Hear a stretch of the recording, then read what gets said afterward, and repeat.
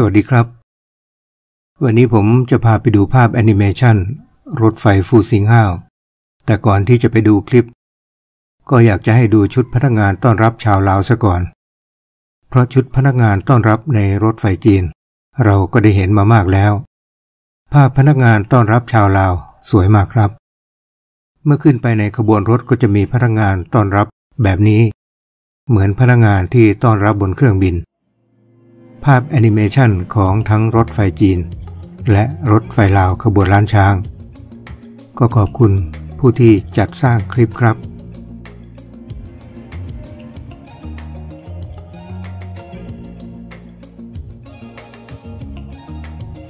เส้นทางจากสถานีคุณหมิง มาถึงสถานีนครหลวงเวียงจันทร์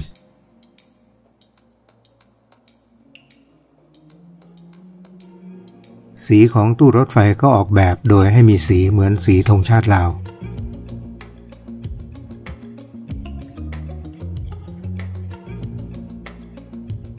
เบาะนั่งออกแบบลวดลายเหมือนดอกจำปาลาว ตู้โดยสารชั้นที่หนึ่ง ส่วนขบวนล้านช้างสองเบาะที่นั่งก็จะเป็นสีม่วง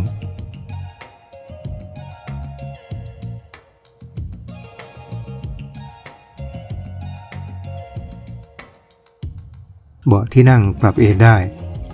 เมื่อเปิดที่เท้าแขน ก็จะดึงที่วางออกมาใช้วางของได้ ที่เท้าแขนก็มีปลั๊กและที่ชาร์จแบตเตอรี่มือถือ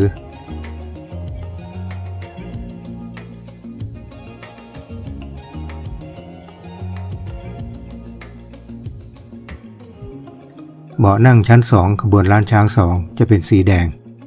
ที่วางของหลังเบาะนั่ง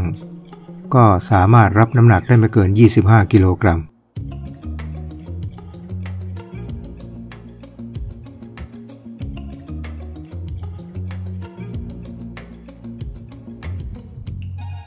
เคาน์เตอร์จำหน่ายอาหารก็จะอยู่ที่โบกี้ที่ 4 ที่ตู้นี้ก็จะมีที่นั่งผู้พิการสองที่ พร้อมห้องน้ำผู้พิการที่อยู่ในตู้เดียวกัน ผมหยุดภาพตรงนี้ให้ดูโบกี้ที่ 4 ที่เห็นเป็นรูปสีเหลือง ก็จะอยู่กลางขบวนรถไฟ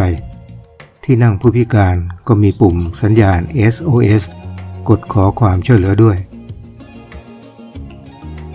ห้องน้ำผู้พิการครับ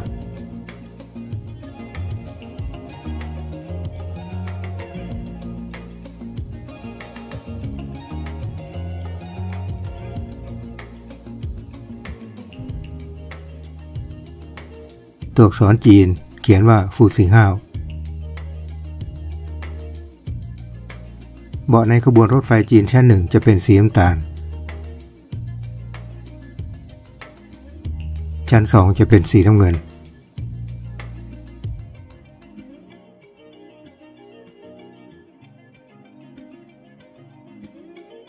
ขบวนรถจะเชื่อมต่อกับเสาสัญญาณจากดาวเทียมด้วย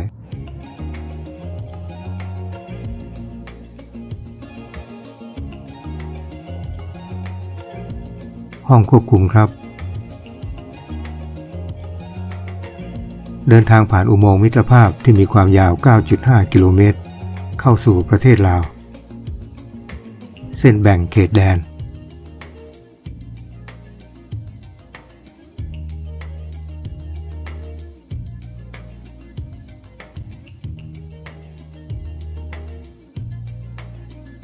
เดินทางเข้าสู่สถานีนครหลวงเวียงจันทร์ วันนี้เล่าให้ฟังเพียงเท่านี้ ก็จะเล่าเรื่องอื่นให้ฟังอีกในโอกาสต่อไปสำหรับวันนี้ สวัสดีครับ